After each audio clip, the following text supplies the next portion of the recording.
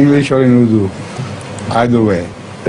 Somebody has uh, uh, the questioner from Palestine last week. Um, uh, he expressed his um, uh, unsatisfactory Dissatisfaction. dissatisfaction uh, from my um, Answer the uh, the, the question, the way I relayed the question or asked the question to Huzur, and he said I have mentioned a few points there regarding whether we can consider the hadith as a source of the tashri' or, or law in the Islamic uh, law.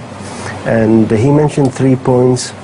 The first one was uh, the eating of uh, the donkey, whether it's permissible to eat a donkey or not. And the second one was uh, to marry amma, uh, an auntie, the, the, the mother's uh, uh, sister or the father's sister. And those points that were, were not mentioned in the Quran according to what he says. And we got them, where did we You get see, them as far as the eating of donkey is concerned, I think it takes a donkey to eat a donkey.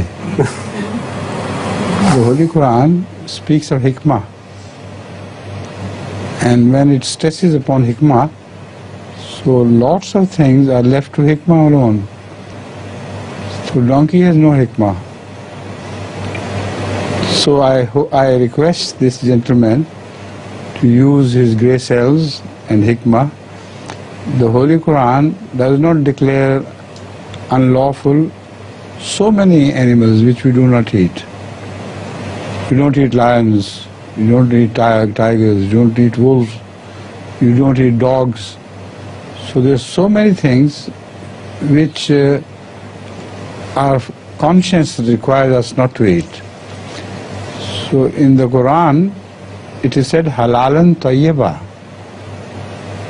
So if they are not mentioned as non-halal, they are not tayyib anyway. So in this verse, this the special mention is made here.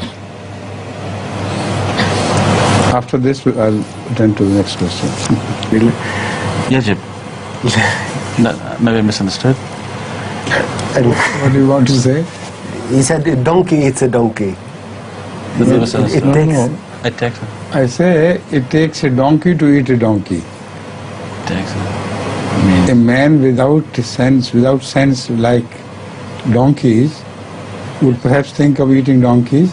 Yes. But if you use your common sense, yes which is based on the hikmah of the Quran, mm-hmm. which is so much stressed in the Holy Quran. yes understood So why don't you use hikmah? There are so many other animals like yes crows, owls, and uh, wolves, etc., dogs.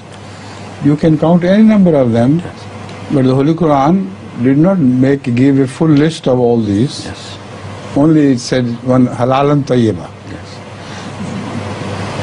They don't fall into the category of tayyib. that's why So if somebody thinks them to be halal, they are not tayyib anyway. yeah